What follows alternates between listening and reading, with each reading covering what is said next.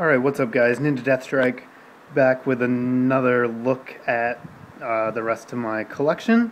We last left off, we looked at the Neo cards I had from the sets, my last complete set, and after that my binder just gets a little bit more scattered. Uh, I have things set up by type after that because I don't have the sets anywhere close to complete. So we'll take a look at colorless at least tonight and maybe move on to some other ones if we have time. But I'll start up here. That's a base set 2 Clefable. We've already seen the jungle version, which is older and better anyhow. But base set 2 is just a reprint of a bunch of the base set cards. Uh, next up we have Pidgeot, who's from one of the uh, e-reader series. And You'll notice as we go through this binder that e-reader cards just had some of the best art that uh, that was ever on any of the cards. My personal favorite card is an e-reader card. We'll get to that in a bit, but uh, just you, you know, you look at the Pidgey, like look at the card art, how great it is. So, um, then we have an e-reader Fearow, also has a pretty cool art. Dragonite, reverse holo Dragonite. I don't have the full holo version. But uh, he's got Tailwind, which lets you make your active Pokemon's retreat zero. So that's pretty cool. Clefable. Moonlight, I don't know what that does. Once during your turn, you may put a card from your hand back on your deck. If you do, search your deck for basic energy card. Show it to your opponent. Okay, that's not that great, but whatever. Cool artwork. Here's uh, Altaria from one of the old EX sets. I think this is Deoxys, but I'm not sure. But uh, you can see it's one of the one of the safeguard Pokemon, same as Sigilyph is now. Does exactly the same thing. Prevents damage from EXs. Uh, promo Pidgeot, that's an exact reprint Oh wait, no, sorry. This is the uh, this is the EX Fire Red Leaf Green. This is a really good Pidgeot with Quick Search that um, once per turn you can just get a card from your deck, whatever card you want. So that's crazy. Uh, no retreat either, and able to attack for two colorless. Not that you ever needed to attack with it, but just an amazing supporter. A Cleffa, no one cares about Cleffa. Uh, it does have Eek, but it doesn't have the protective power of a sweet sleeping face. A promo Latios, this is from one of the two player booster sets. Um, that's a little symbol down there. Pretty cool, I guess. Doesn't do anything super special. And then the accompanying Latias. A Tauros, a promo cool picture. And here's the, this is the Pidgeot that's a reprint of the um, e-reader set one. Just a promo version with a different art. Not quite as good, but still pretty neat. Deoxys, this is the first Delta species card we've seen. Um, for those of you who don't know, Delta species was something that happened towards the end of the last series of EXs where they took Pokemon and just gave them a new type. It was a really cool mechanic that I kind of hope they bring back because it was a lot of fun. So we have a colorless Deoxys, and the thing with Delta species is that they keep their original weakness, so it made for some pretty interesting uh, matchups. Next up is a Wigglytuff, which um, puts the opponent to sleep if they attack. That's not that great since they only have a 25% chance of staying asleep, but I guess it's okay. Another Tauros. That's I, I remember this symbol. It's Crystal Guardians. Delcatty, which has a really good poke power. Once during your turn, you may discard one energy card from your hand, then draw three cards from your deck. So this is pretty much a better version of Ninetales that we had in uh, Heart Gold Soul Silver. HP is a little less, but the power is actually better because it's colorless. It's able to be used in any deck, and then uh, max energy source, 10 damage times the amount of energy on all your active Pokemon. That was basically only good in double battles, but I guess it could have a worse attack. Just really good for the Poke Power, though. Next up a Garchomp from Majestic Dawn, I think. Uh, the first Garchomp we got, I'm pretty sure. And his power Rainbow Scale. If the active Pokemon has weakness to any of the types of energy attached to Garchomp, Garchomp's attacks do 40 more damage to that Pokemon, so that's pretty cool. Makes him a pretty versatile uh, counter in any kind of deck you want to use. Another Altaria from some Platinum, or some Diamond Pearl set, I don't know which one, but it doesn't do anything super interesting, so we're going to keep moving. Uh, last page of colorless, we have a dragon from. I think this is the dragon symbol, maybe. I'm not sure what the symbol it is, but I love this picture with the overhead view. Uh, really cool Salamence. Card Dragon Wind. Uh, once during your turn, if Salamence is your active Pokemon, you may switch one of your opponent's bench Pokemon with the defending Pokemon, but your opponent gets to choose still, it's pretty cool. And uh, I just really, really like the card art on that one. And we have a promo Glameow, who we don't care about. So moving along to grass. Next up is a, a Japanese hollow Beedrill from one of the Neo sets. Now this Beedrill did get released in the States, but there wasn't a hollow version of it. So this is a, a, a Japanese only hollow. and again another incredible card art here. He's attacking some cactuses. Probably Maractus before it was a thing. Looks an awful lot like them. Uh, a Vileplume, E-Reader Vileplume, doesn't have Trainer Lock, uh, just the ability to poison. And E-Reader Wheezing, who has a really great picture. Get a little closer to that. Pretty badass. Um, wow, misfire. Flip a coin. If tails, put six damage counters on Wheezing. That's terrible. And it takes three energy. Wow, that is so bad. I... Next up is Butterfree. Miraculous power. Once during your turn, you may remove all special conditions from your active Pokemon. So that's pretty cool. Kind of like Espeon, not quite, but in the same vein. Uh, E-Reader Venusaur. It's not as cool as Fat Venusaur from the base set, but that's alright. Uh, what's his Poke Power do? Harvest Bounty.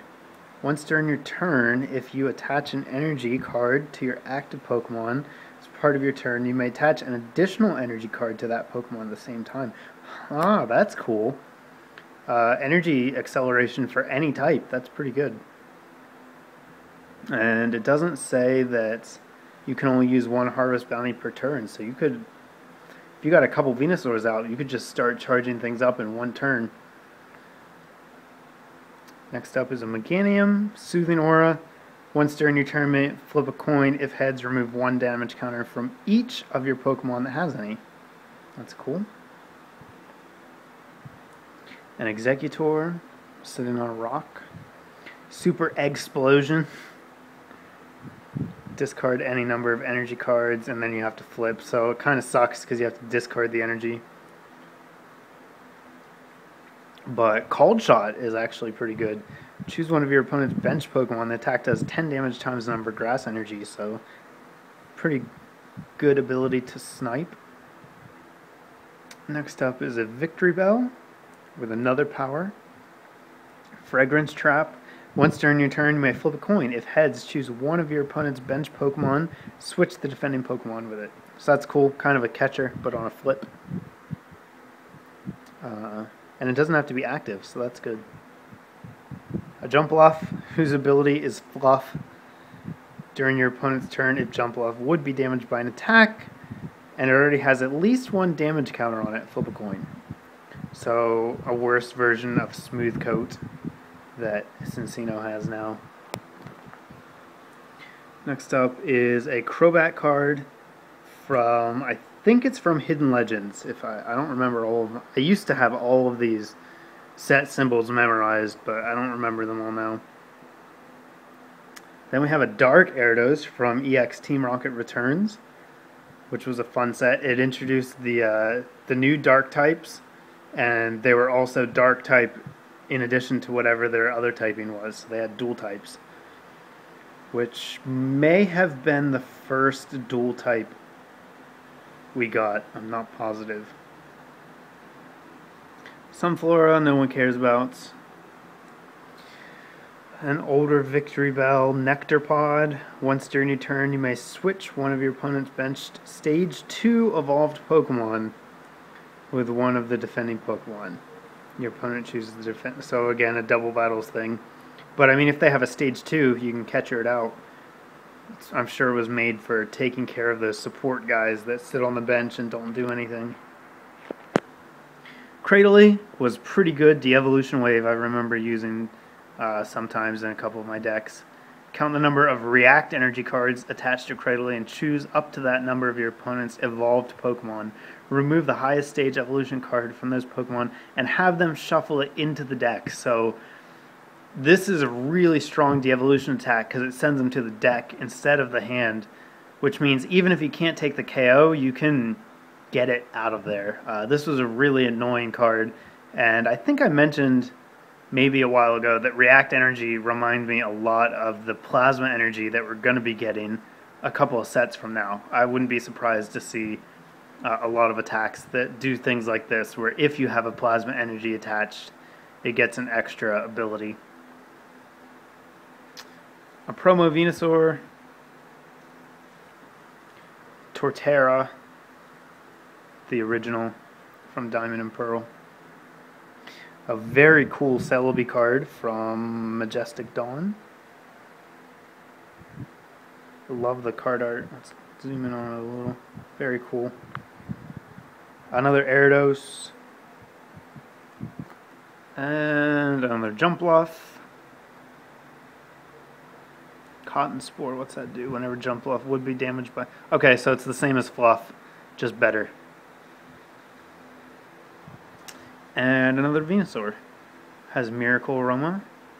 If heads, choose either asleep, burned, or poisoned. The defending Pokemon is now affected by that special condition. That's neat.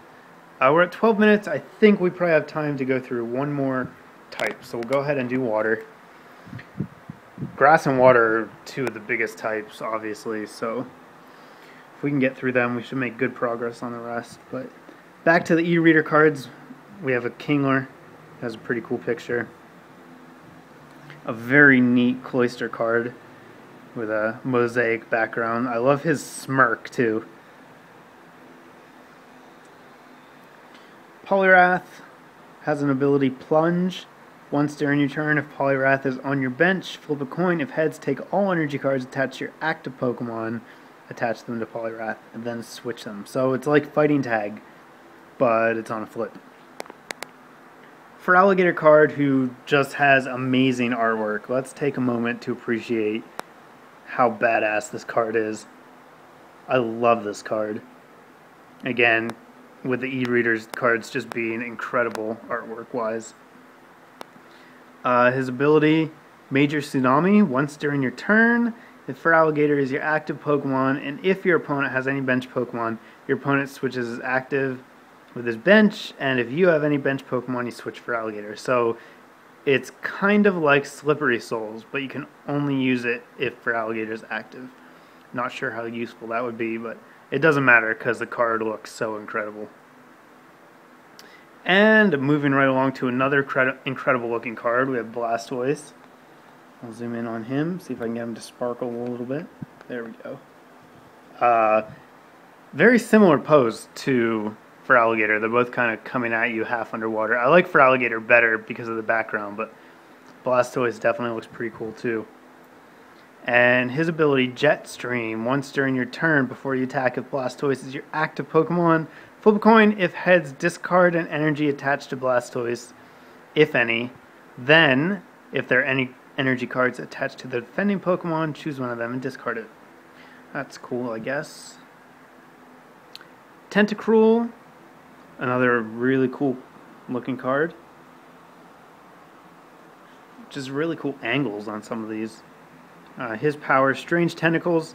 Once during your turn before you attack, as long as the number of energy cards attached to the defending Pokemon is less than energy cards attached to your active Pokemon, you may choose an energy card, if any, in your opponent's discard pile and then attach it to the defending Pokemon.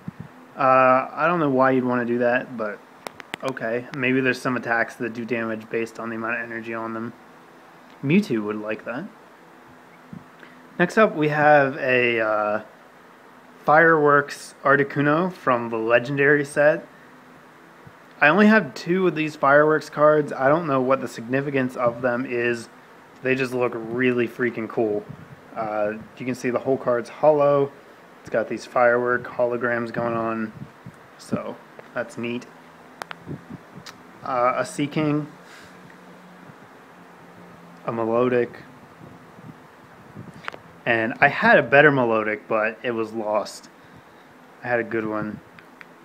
And I think I had a Milotic EX too that is also lost. Unfortunately. So here's some more water guys. Kyogre. Pretty cool picture. Smoochum, no one cares about. Another pretty cool looking Feraligatr. This one's from. What is this? I forget. It starts with a U, I think.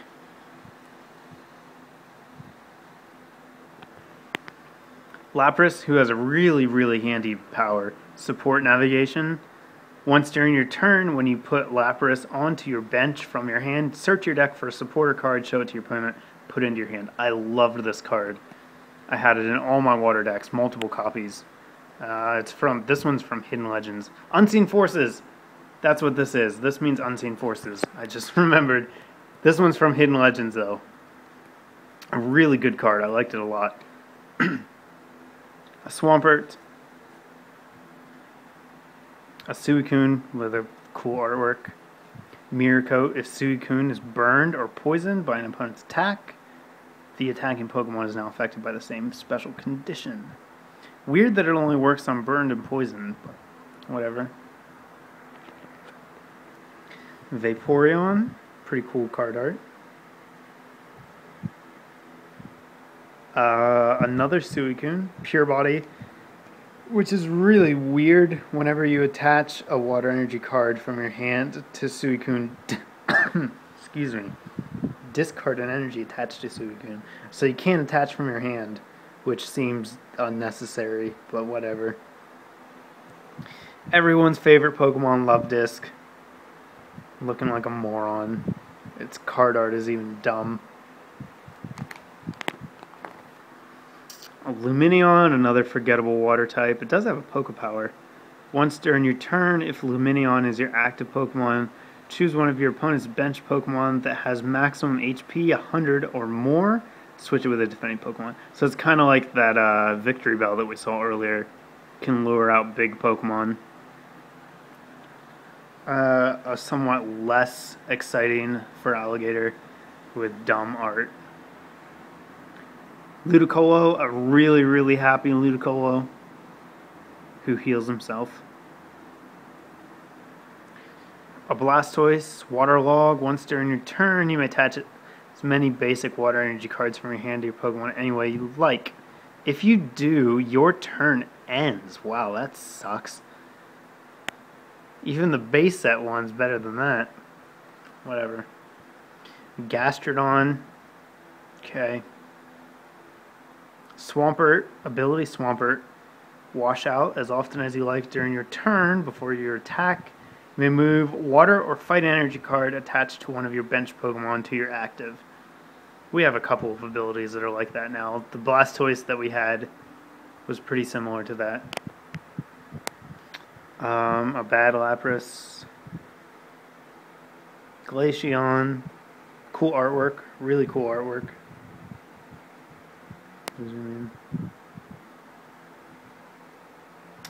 Manaphy.